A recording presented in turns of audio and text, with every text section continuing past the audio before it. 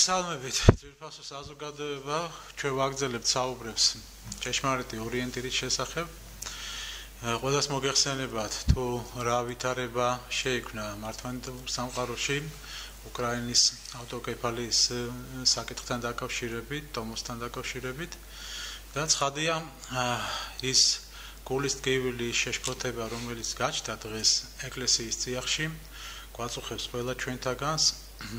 მართლმადიდებელ ეკლესიის სამწყსოს სასულიერო პირებს თუ ერისკაცებს და აი ამ გულის ტკივილის გამოხატვა გსურს ჩვენ დღეს თუ რა ხდება როგორი მნიშვნელობის არის ეს საკითხი თუნდაც ჩვენი ავტოკეფალური ეკლესიისათვის ყველა პიროვნულად ჩვენ ყველა ჩვენთაგანისათვის აი ამ საკითხზე საკითხზე სასაუბროთ მოვიწვიეთ ჩვენი მეგობარი ღუდელსახური დეკანოზი ზაქარია მარგალიტაძე мама ზაქარია დაგულოცეთ თუ შეიძლება ორიოდე სიტყვით თავიდანვე ვთქვათ, რომ რა არის ჩვენი აი ამ საუბრის მიზეზი, რატო გვაწუხებს ჩვენ? ეს საკითხი, რამდენად მნიშვნელოვანია ის და რატომ არის ის, რომ ეს არ გახლავთ აუხსნათ საზოგადოებას, რომ ეს არ არის პოლიტიკური საკითხი, რომ თითქოს და ეს იყოს ან პრორუსული პოლიტიკა, ან პროდასავლური პოლიტიკა, არამედ ეს არის ეკლესიის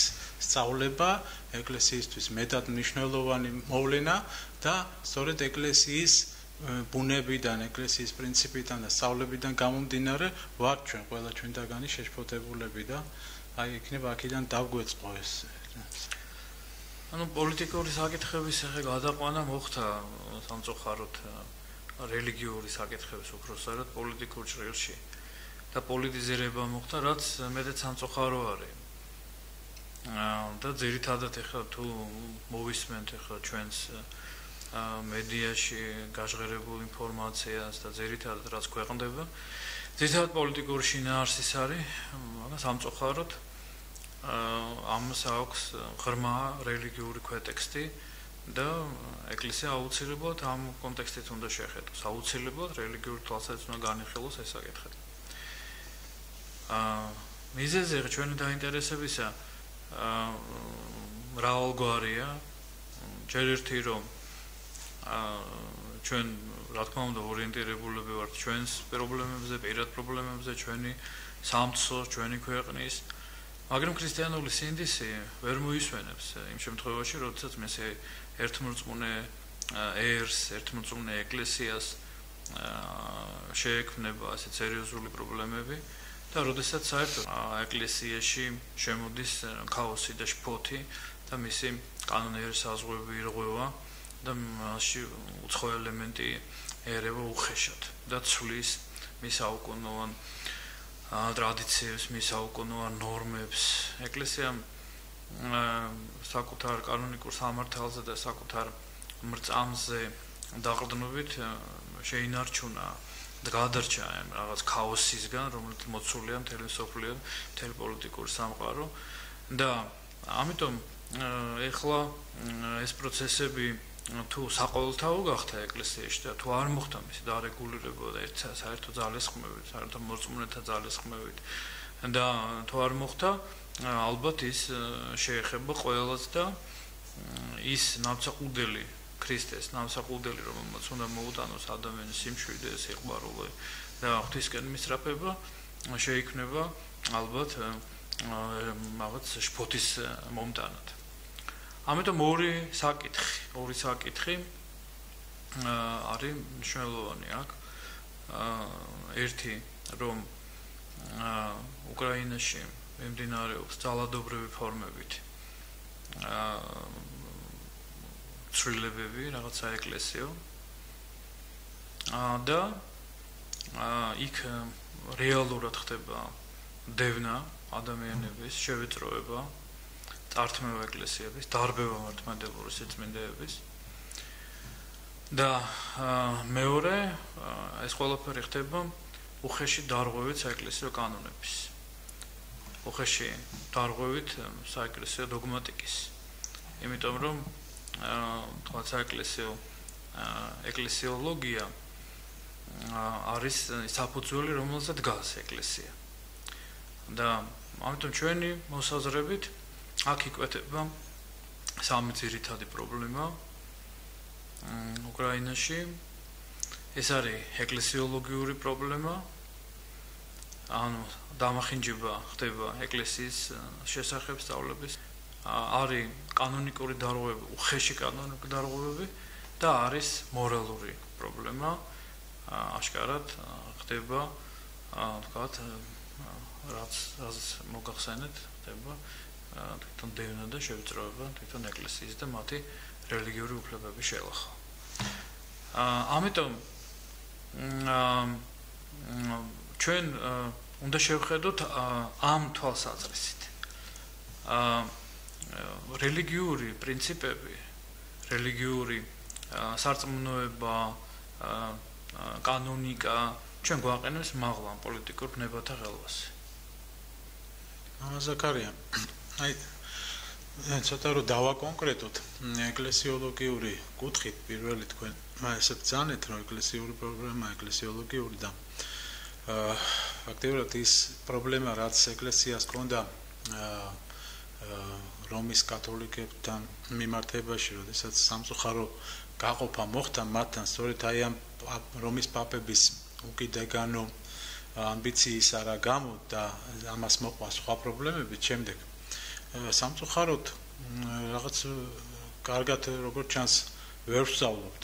აი ამ წარე მაგალითი და და იგივე ფაქტობრივად პრობლემები ეს პატივით პირველობის ინსტიტუტი რომელიც არსებობდა ეკლესიაში და აი ამის გაიგივება უფლებამოსილებასთან და ხელისუფლებით უპირატესობასთან რაღაც იჩინა თავი ჩვენს ეკლესიაშიც და კარგი იქნება საზოგადოებას რომ აუხსნათ რომ როგორია ეს ერთპიროვნული მართლობა ეკლესიაში?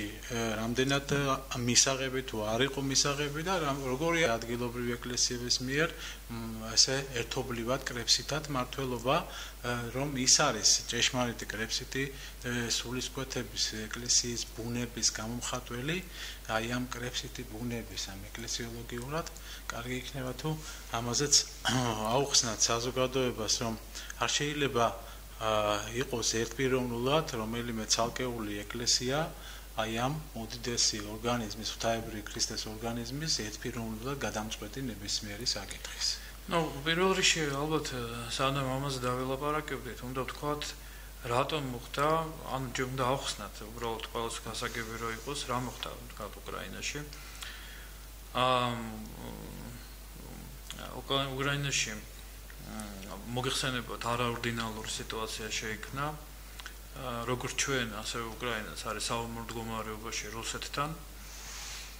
და მოგეხსენებათ უკრაინა არის მართლმადიდებლური მრწამსის მქონე ძირითადი მოსახლეობა უმეტესი და იქ არსებობს ეკლესია. რომელსაც აქვს დიდი ავტონომია რომელიც მაგრამ შედის ასევე რუსეთის ეკლესიის შემოადგენლობაში, მაგრამ დიდი ავტონომია აქვს, რომელსაც ყავწეს თავარი 90 ეპისკოპოსი და 12000 მგელსახური, აქედან 90% უკრაინელები არიან და ა ისინი მსახურებენ ამ ეკლესიაში. და აი ამ საომარმა პოლიტიკურმა დაძაბულობა, ამ საომარო მდგომარეობამ ა ფაქტიურად გამოიწვია ამ საკითხების გამწვავება.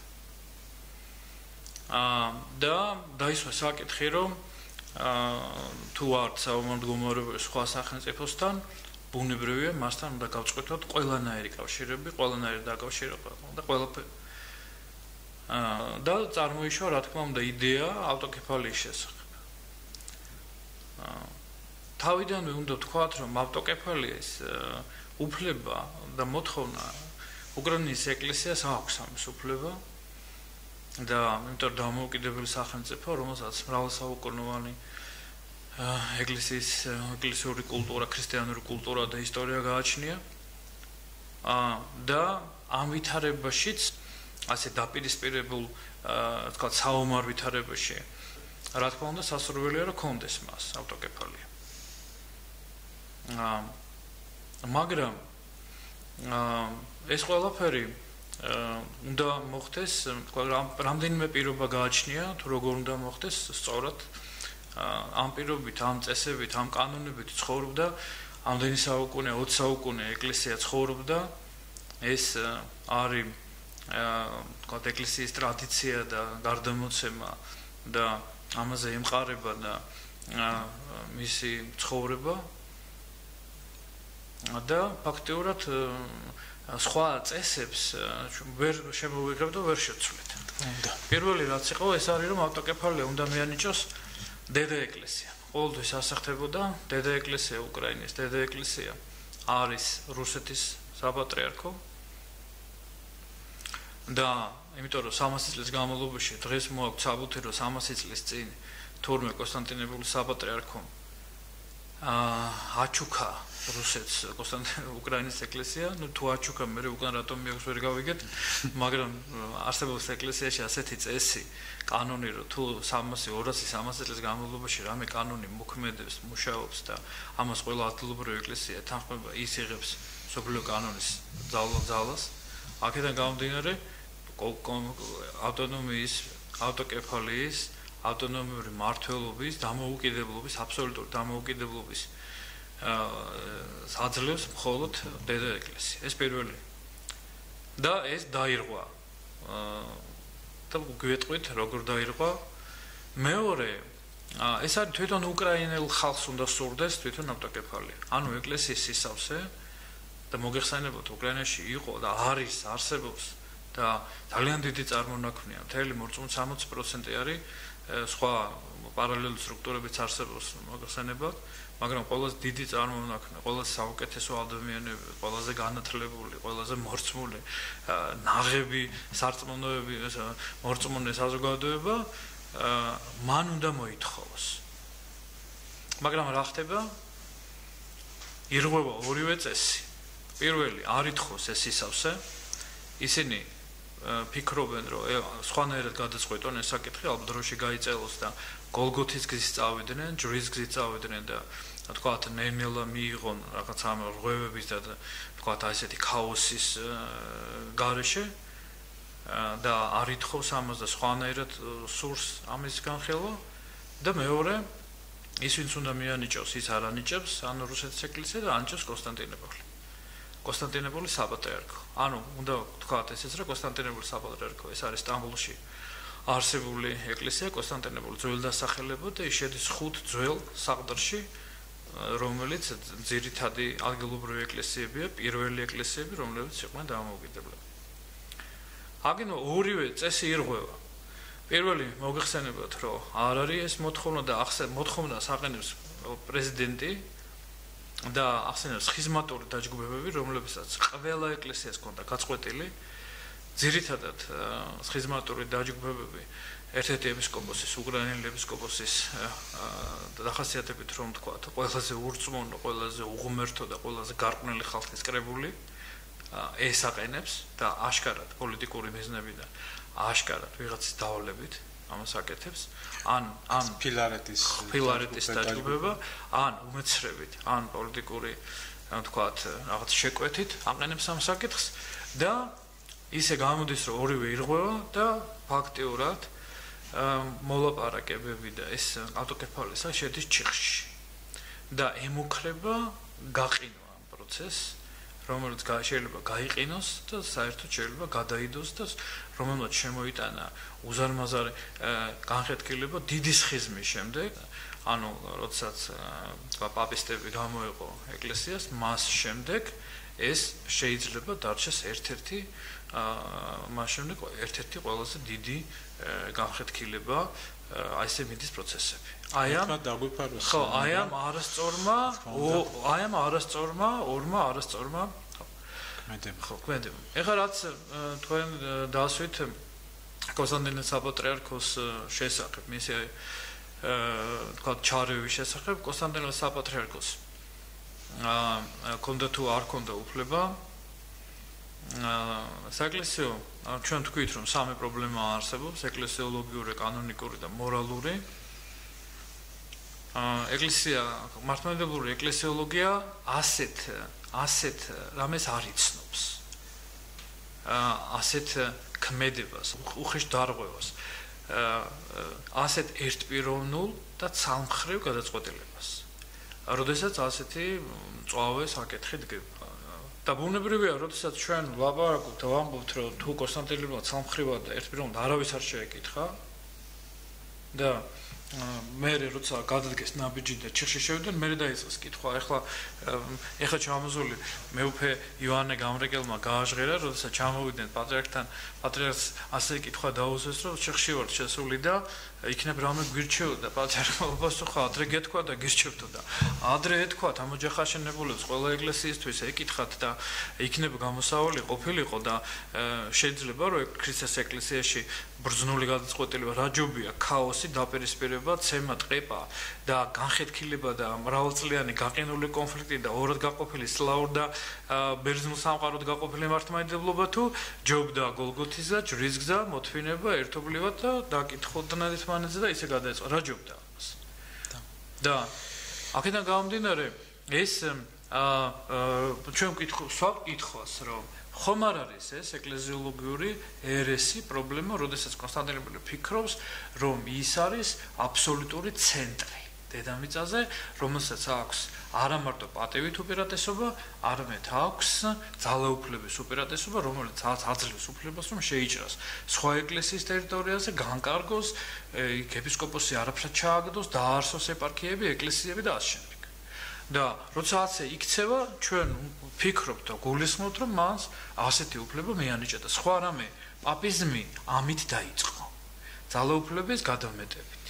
როდესაც აბსოლუტური ძალაუფლება მოინდომა ეპისკოპოსმა და აბსოლუტური ჯერ უნდა თქვა ძალაუფლების შესახებ. მამა კონსტანტინე დავამთავრე გამიგზელდა ახლა. საინტერესოა. ხო, აბსოლუტური ძალაუფლება ეკლესიაში აბსოლუტური ძალაუფლება არავის არ აქვს. აბსოლუტური ძალაუფლება აქვს მხოლოდ მაცხოვარ ჩვენს უფალს იესოს ქრისტეს, რომელიც არის თავი ეკლესიისა. პავლე მოციქული ამბობს, თავი ეკლესიისა არის ქრისტე. და ეკლესია არის მისი სხეული. ამიტომ ყველაფერი ეკლესიაში რაც აღესრულება, ეს არის მსახურება, ეს არის სწავლება, ეს არის სამართალი და ეს არის დამოწყვრა. ყველაფერი აღესრულება სულიწმიდის მადლით. ის არის აბსოლუტური სიმდიდრის ცოდნის ყველაფრის მქონე. ყველა დანარჩენი არის დადგენილები დროებით. აქედან გამომდინარე დადრებ დროებით დადგენილი, საიდან აქვს ეს ერთპიროვნული და სამხედრო გადაწყვეტილის უფლება? თან მამა ზაქარია მოდი გააკვრით ასე მაინც ვთქვათ რომ რამოდენიმე კანონი ცალსახად ამბობს და ზღუდავს ადგილობრივი ეკლესიების მართვა გამგეობას თავის ეპარქიის საზღვრებში და ეს არის მოციქულთა 34 კანონი მეორე მსოფლიო კრების მეორე მესამე კანონები მეოთხე მსოფლიო კრების 28 კანონი. თვითონ ის კანონებიც რომლებიც აპელირებენ ჩვენი ოპონენტები ეს არის მეოთხე მსოფლიო კრების მე-9 და მე-17 კანონი სადაც თითქოს და აპელაციის უფლება უმაღლეს ინსტანციისა ეძლევა სოფლიო პატრიარქს თვითონ ეს კანონებიც აი ასეთი უხეში და არასწორი ინტერპრეტაციის შედეგად ეწინააღმდეგება აი წინა ორბეთ კანონებს რომლებიც იყო სოფლიო კრებების მიღებული და ეს ყველაფერი რა თქმა უნდა ქაოს ქმნის და ჩვენ აუცილებლად ამის შესახებ კანონის მოციქულთა კანონებს მოვიყვანთ და ჯულის კანონიდან ვისაუბრებთ თუ როგორი იყო და როგორი არის რეალურად სწავლება სოფლიო კრებებისა აი ამ საკითხთან მიმართებაში და ჩვენთვის მამაო ალბათ მაინც თავარი ის არის რომ ეკლესიას აქვს კრებსითი ბუნება და არავითარ შემთხვევაში არასდროს არ ქონია პაპებს და თუნდაც პაპობის პრეტენზიის მქონე სხვა პიროვნებებს რაიმე უფლებები და ეს ეკლესიამ ცალსახად დაადასტურა ჩვენი მაგალითებიც კი ეკლესიიდან გვახსოვს ჩვენ ანტიოქიის ეკლესიას, როდესაც ჰქონდა წმინდა გიორგი მთაწმინდელთან საუბარი რომ თქვენი ეკლესია უნდა დაგვემორჩილოსო ჩვენო, კარგად უპასუხა მაშინ წმინდა გიორგი მთაწმინდელმა რომ თქვენ თუ იმით იქადითო რომ პეტრე მოციქულმა მოგაქციოთო ჩვენო ანდრია მოციქულმა მოგვაქცია რომელმაც პირველ პირველ წოდებულია და ანდრია მოციქულმა მოიყვანა პეტრე მოციქულიო. ამიტომ აი ეს ამბიცია ჩვენ წმინდა წერილიდან ცალსახად ჩანს რომ არ ყოფილა მოციქულებს შორის. არასდროს ქონია პეტრე მოციქულს პირველობის ამბიცია როგორც ეს უნდა განავითარონ და ცხადია ათ ეკლესიაში ჩვენთან შემდეგ უკვე როცა კრებსითად წდება ეს ყველა საკითხი არავითარ შემთხვევაში არ შეიძლება იყოს უპირატესობა ძალაუფლებრივი ალბათ ეკლესიაში. მამაო აი ამ საკითხებთან დაკავშირებით საინტერესოა კიდე ესეთი პოზიცია რომელი როგორი უნდა კონდეს ახლა პოზიცია ჩვენს ეკლესიას როცა ხედავთ ცალცახად რომ ტომოსის შინაარსი არის ფაქტობრივად ჩვენი ეკლესიისთვისაც საფრთხის შემცველი. იმიტომ რომ მე როგორც წავეკითხე იქ ჩანს რომ არის ესეთი მოთხოვნა რომ უკრაინის ავტოკეფალური ეკლესია უნდა ემორჩილებოდეს სოფლიო საფტარს როგორც დანარჩენი ადგილობრივი ეკლესიები. სწორედ ამას შემოაქვს შფოთი მამაო და იქნება ამაზეც ვისაუბროთ რომ ეს ტომოსის აღიარება რომ ფაქტიურად გამოდის რომ არა მარტო უკრაინის ასეთ ეგრეთ წოდებული ეკლესიის აღიარება ხდება არამედ ჩვენი ეკლესიისთვის რამდენად საფრთხე შემცველია ეს ყველაფერი. საერთოდ პრეცედენტი როდესაც ხდება თქვა დარღვევა და რაღაც ცუდი პრეცედენტი შემოდის, რა თქმა უნდა, იმის გარცობა შეიძლება მოხდეს ყველა მიმართულებით, მაგრამ ჩვენ თქვით, რომ ასეთი ცენტრი, აბსოლუტური ცენტრი არ არსებობს. მამები ამბობენ, რომ ეკლესია მოწყობილი არის სამების წმინდა სამების პრინციპით, სადაც არ არის სუბორდინაცია, ასევე ეკლესიებს შორისაც არ არის სუბორდინაცია, მათ აქვს აბსოლუტურად ამოუკიდებელი მართლობა. და მხოლოდ ერთმანეთთან თანხმობაში ახორციელებენ საკუთარ მისიას. და კონსტანტინოპოლის საპატრიარქოს კრებების მიერ აქვს პატივის უპირატესობა, რომელიც არის თანასწორთა შორის უპირატესი და არა უთანასწორთა არა თანასწორთა შორის უპირატესი. როდესაც მას აქვს უფლება რაღაც ძალაუფლებებზე ილაპარაკოს, მაშინ რა თქმა უნდა უკვე არათანასწორთა შორის უპირატესობა, რაც უნდა ვთქვათ აუცილებლად რომ პაპის პაპისტებთან დაპირისპირების მთავარი მიზეზი იყო ეს. დღეს მნიშვნელოვანი რა არის, ეს არ არის უმნიშვნელო რამ, თუ ეს მიიღებს თქვა დოგმატურ სახეს, თუ ეს პრაქტიკულად ჩვენ ნახეთ, რომ პრაქტიკულად განხორციელდა. ადრე როცა ჩვენ ამაზე ლაპარაკობდით და სხვების ლაპარაკობდით, ამბობდნენ თქვენ რას ლაპარაკობთ, პრაქტიკაში ესეთ რამე არ არსებობს. დღეს უკვე პრაქტიკაშიც განხორციელდა. ეს ყველაფერი, ესე იგი, ეს უკვე ამას უკვე საშიში საშიში ფორმები აქვს. სხვა ყველაფერი დღეს პაპისტებთან დამოკიდებულებაში არსებობს ღვთისმეტყველთა აზრი, რომ პაპიზმთან, პაპის მრავალი დანაშაული აქვს, მრავალი შეცდომა აქვს ალებლური, მაგრამ ყველაზე მთავარი არის პაპის პრიმატი. თუ პაპის პრიმატი მოგვარდება და და პაპისტებს უარყოფენ, ისინი შანუს ყველა საკითხი მოგვარდება. აქედან გამომდინარე პაპის პრიმატ, ანუ ძალაუფლების გადამეტება, არასწორი ძალაუფლების მინიჭება გამოიწვია ერესში ჩავარდნენ ეკლესიის. ასევე აქაც თუ მოხდება არასწორად გაგება ძალაუფლების, რა არის პატევით უპირატესობა, რომელიც არაძლევს ძალაუფლების უპირატესობას და ჩარევა სხვა ეკლესიებში, სხვა დამოუკიდებელ ეკლესიებში, რომლებსაც ამდენი საუკუნე ასე უცხოურია ჩარევის გარეშე. ეს არის მეოცე საუკუნის სცენი და არაზოს ეკლესიას ასეთ ჩარევა არ ქონია. ეკლესია პატრიარქი და სინოდი ახორციელებს დამოუკიდებელი ეკლესიის აბსოლუტურად საკუთარ მართლობას. მას აქვს მხოლოდ მას როდესაც შეუძლია საერთო კრებაზე ინიცირების უფლება და დღეს კონსტანტინოპოლმა მიისაკუთრა პირველადი სასამართლო.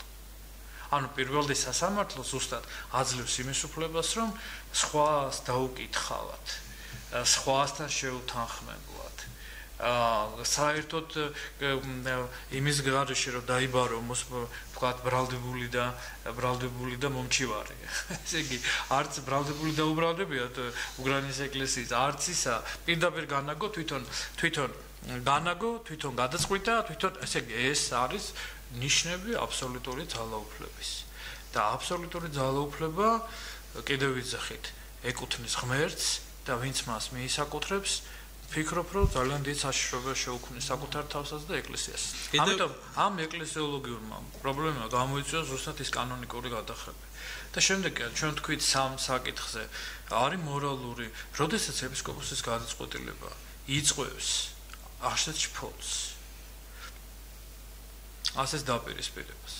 ჩვენ ხედავთ ახლა ინტერნეტის საშუალებით ყოველდღიურად იდება თქვა ინტერნეტში აი შემთხვევები, სადაც ხდება რეიდერული წართმევა ეკლესიების, ცემა ბლების, ძალით გადაბირება სამსახურებიდან დათხოვა და ტერორი მორწმუნე ერზე და როდესაც ეპისკოპოსის გადაწყვეტილებით ასეთი რამ ეს არ არის მორალური პასუხისგებლობა არეკისრება იმ ეპისკოპოსის გადაწყვეტილებით ამას არჯობდა დროში და გოლგოთის წასულიყო ეკლესია თანხმობით და ყოველასთან ურთიერთობით და დიდი მე მესმის რომ რთულია ძალიან რუსეთთან რუსეთთან თქვათ მოლაპარაკება ამ თემაზე მაგრამ მაინც ჯობია როგორ ამბობენ?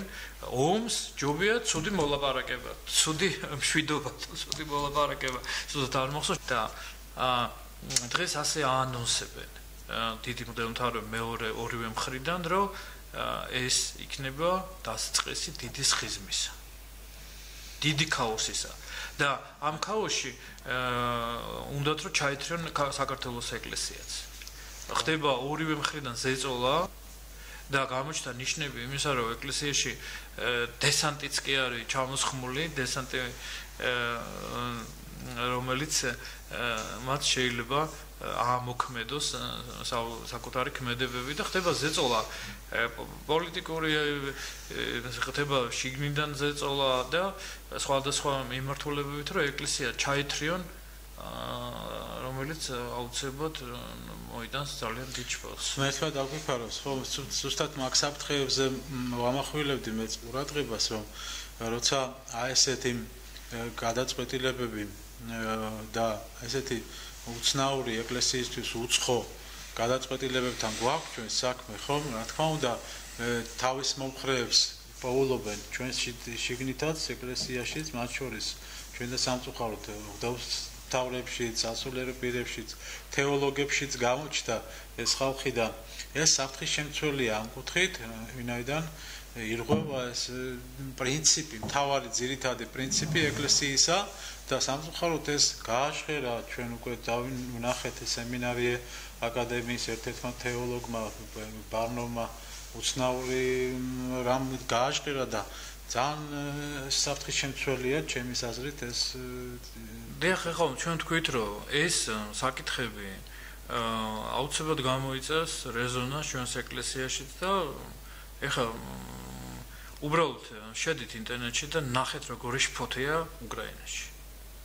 ერთი რომ იქ ომის შფოთია და იქ მიმდებარე დონბასის და იმაში მაგრამ ტერიტორიებთან მაგრამ როგორი შფოთია მთელს უკრაინაში? როგორი გახლეჩა? დაპირისპირება გამოიწვია ყველაფერი. რა თქმა უნდა ჩვენ არ გვაქვს სურვილი და აგოშფოთა ხა რაზეც თქვენ თქვით ხა ბარნოვის განცხადება რომელიც არის აკადემიის სასულიერო აკადემიის ლექტორი. და მე წაგიკითხავთ განცხადებას და თვითონ განსაჭეთ რამდენად საფრთხე შემცველი არის.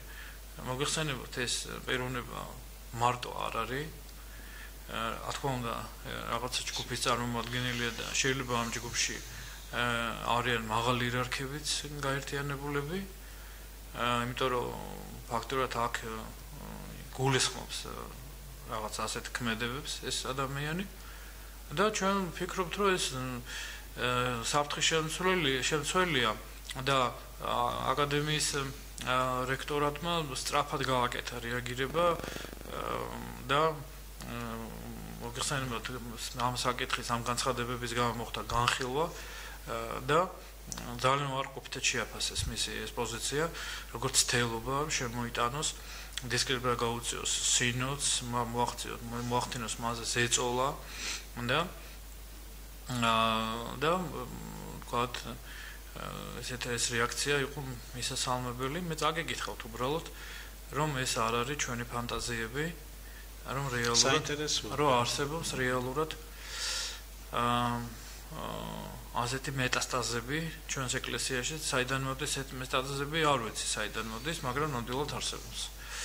თუ საქართველოს საპატრიარქო გადამწყვეტ მომენტში მხარს დაუჭერს რუსეთის ეკლესიას უკრაინის ავტოკეფალიასთან მიმართებაში საქართველოს ეკლესიაში აუცილებლად აღმოჩნდებიან ისეთი მუდმთავრები რომლებიც დედა ეკლესიას წეიხში და კონსტანტინოპოლის საპატრიარქოსთან თანაზიარებაში დარჩებიან.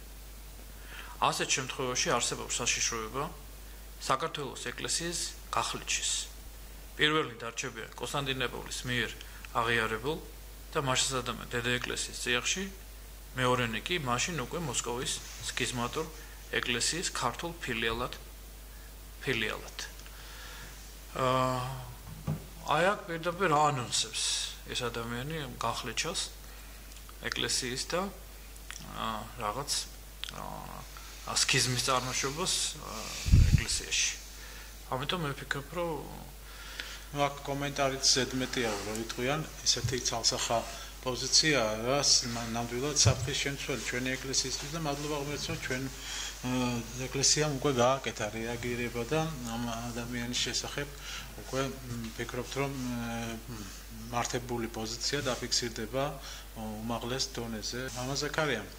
რა თქმა უნდა, ბევრი შეგვიძლია ამ თემაზე ვისაუბროთ, მაგრამ აა მოკლედ რომ შევაჯამოთ აი ეს ჩვენი სათქმელი დღევანდელი რისი თქმა გვსურს ჩვენ რისგან უნდა დავიც რისი საფრთხისგან საშიშროებისგან უნდა დავიცვათ ჩვენ ეკლესია ჩვენ რა თქმა უნდა ვართ სასულიერო პირები რომლებიც ამ საკითხებს გლობალურ მასშტაბით ვერ წვითავთ მაგრამ ჩვენ როგორც სასულიერო პირები და ასევე პასუხისგებელი ჩვენი წილი პასუხისგებლობისა გვაკისრია ეკლესიის წინაშე და ასე ამბობს წმინდა მამები რომ ყველა საკისრია ეს პასუხისგებლობა. მით უფრო სასულიერო პირებს და სწორედ ეს გულისკივილი რომ გვამოძრავებს ჩვენ და სხვა არაფერი აქ არავით არის პოლიტიკური ინტერესი არ შეიძლება ამ საკითხში არსებობდეს. ეს არის წმინდა ეკლესიოლოგიური საკითხი და ეს საკითხი ზე პოლიტიკურია და ეს საკითხი უნდა გადაიჭრას მართებულად სამართლებრივი გზით, როგორც ამას ეკლესია ჯულის კანონით ხოს, როგორც წმინდა მამებმა ეს დაგვიწესა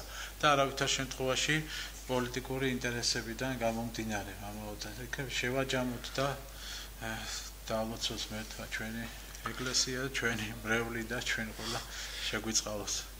ну, ბუნებრივია, რა თქმა უნდა, თქვენ ილაპარაკეთ პასუხისგებლობაზე და მართლმადიდებლური ეკლესია არ არის რომის მსგავსად მოწყობილი, სადაც არის პატრიციები ყველაფრის ყველა უფლების მქონე და პლეპსი არაფრის უფლების მქონე.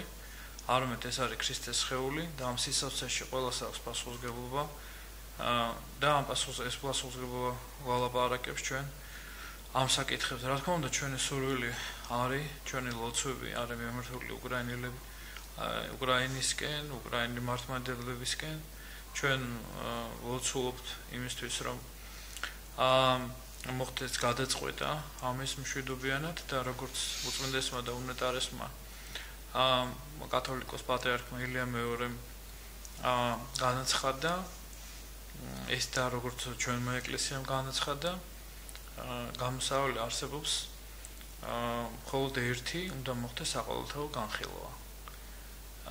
ეკლესიათა ყველა ეკლესიამ უნდა მიიღოს და მე დარწმუნებული ვარ რომ ქრისტეს ეკლესიაში არსებობს ბრძნული გადაწყვეტილება კანონებზე დაფუძნებული ქრისტიანულ სიყვარულზე და სამართალზე დაფუძნებული.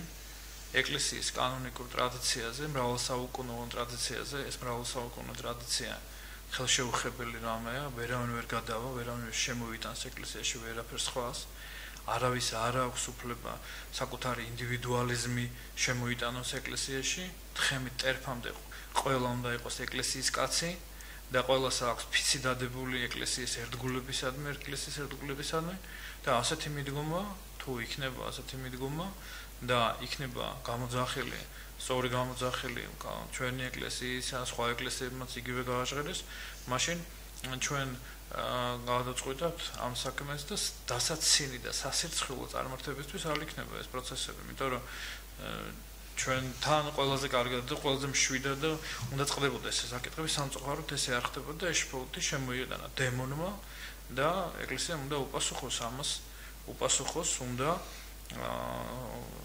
ქრისტიანული ნაბიჯით, სიბრძნით, რომელიც არსებობს ეკლესიაში და როგორც აღიარეს აი ამ ლეგატებმა, რომელიც კონსტანტინოს პატრიარქმა წარმოგზავნა, აღიარეს სიბრძნე პატრიარქისა და ასეთი ბრძენი ადამიანების ქმედებაზე და სიბრძნეზე უნდა დაეფუძნოს და აი ამ თითქოს გამოვალი მდგომარეობიდან აუცილებლად უნდა მონახოთ გამოსავალი ყველა. დიდი მადლობა მამაო ამ საინტერესო საუბრებისთვის. მე თქვა დავგვიოცოს და შეგეცხოვს. გაიხ